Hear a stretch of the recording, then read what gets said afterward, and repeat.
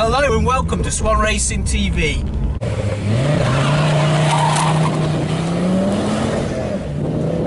This is uh, episode two of the um, track day car preparation selection video series. Um, so today I'm talking about what you're going to need to do to your car to ensure you have a happy time at your track day. Uh, basically, this one is about servicing. Got to do a basic service on your car, so that includes oil, oil filter, spark plugs, air filter, uh, checking your tyres over, they're in good condition, checking wiper blades, uh, everything really that would be on an MOT. So you want to have good good wipers in case it uh, pisses down with rain. You don't want to uh, find yourself struggling to see. Good tyres, whether that means you got to get new tyres or just make sure you've got plenty of tread and life left in those tyres. Sticky soft tyres will be uh, a bonus.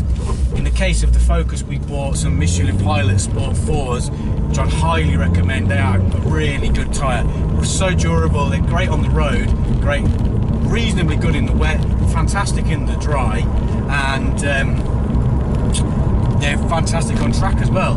They uh, take the pounding lap after lap after lap. So I'd really recommend Michelin Pilot Super Sports. Um, brake pads, now, again, you could use standard pads as long as there's plenty of life left in them and the discs are in good nick. But uh, really, you do run the risk of pad uh, fade.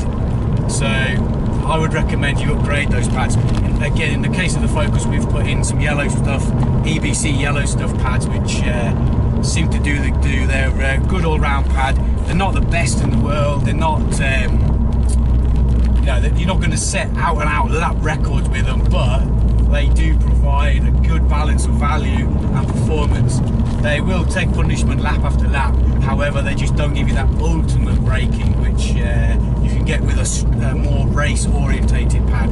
But you know, they, they're alright, they'll do. They're a reasonable price as well, so that's something to consider if you're going to get through quite a few sets of pads. Um, next up, I would say flush the brake fluid through. Again, with a decent quality uh, brake fluid. If you've got to go for a branded mod, uh, branded, go for branded. You, you, know, you know you're going to get quality. Then you don't want uh, to scrimp on stuff like that because we will, or you do, you will potentially boil the brake fluid. I have had that before, uh, boiling brake fluid um, yeah, pad fade. So definitely cover the brakes off. You don't necessarily need to get up upgraded brakes. Just make sure what you've got is in good condition and uh, and well serviced and working properly. Um, so yeah, then oil. Make sure your oil filter and oil is replaced.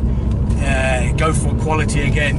It's you know 50, 60 quid for a bottle of oil, but that is essential. You definitely don't want uh, big end failure due to your oil breaking down. So in the case of the Focus and all my other race cars for that matter, I use uh, Mobil One Motorsport Edition.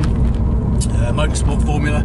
It's uh, you know, he's never let me down. When we first started racing, we went through all sorts of different oils, and um, you know, we had quite a few engine failures in that first sort of six months of racing, and then eventually settled on uh, Mobil One and never had any issues since then. So uh, always great oil pressure from from cold right up to you know high temperatures. So it's definitely highly recommended. Um, so yeah, then spark plugs again. You could replace with good condition, uh, you know, new plugs, so you you know your plugs are in good condition. However, you know, I would recommend again an iridium, perhaps an iridium plug. Uh, it's just the durability is, is higher. It's going to perform under the strenuous conditions that you're going to find the, the engine uh, put under on your on your track day.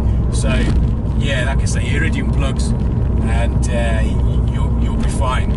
And then. Um, the rest of it is yeah, it's just basically checking over. To wash a bottle, is it full? You know, plenty of fluid in there. Yes. Coolant, is it full? You know, is it on the on the correct level? And you could even flush that through, flush the rad through, put some fresh coolant in there to make sure that you're not going to have any overheating issues. Uh, wiper blades, check them over, make sure the wipers are working properly. Again, if you have a wet day, you don't want to be struggling to see because you've got uh, poor condition um, wiper blades. Um, so yeah, I mean, like I say, just give your car a, a, general check over, make sure it's in good condition. Should really be uh, MOTable. Some people trailer their vehicle to the, to the track. but you know, a good rule of thumb is if you make sure your car is uh, in the condition where you'd you'd expect it to pass an MOT, you probably won't be far wrong. Um, so yeah, that's just a brief uh, brief chat about what you need to do to your car, and uh, you won't have any issues then on your day, which is uh, what we want. We don't want to be getting to a track day and having you know uh, bad times because things have things have gone wrong. You know, you're standing around, your downtime, struggling.